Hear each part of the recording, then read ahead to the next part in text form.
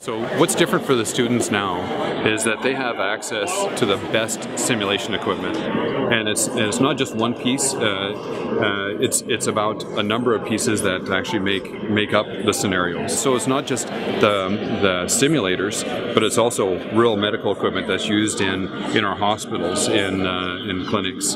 It gives you a safe and realistic environment to do everything that we sit in the classroom learning how to do, or go into the lab and learn how to do. It takes all of the little parts of our education and puts them into a big picture and puts it into a scenario where we can initiate those skills and do so safely. If something goes wrong, it's still a learning experience.